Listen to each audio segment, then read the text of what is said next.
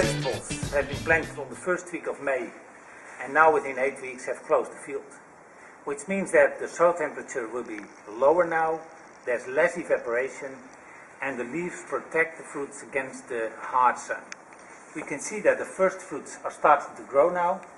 I see a diameter of about one decimeter, 10 centimeter, 4 inches, which means that uh, also here I think we can expect a very good crop.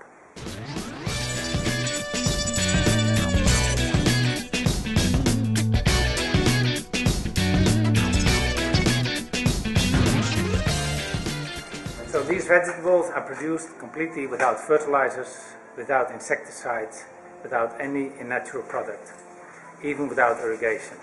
So you can imagine the taste that these fruits will have.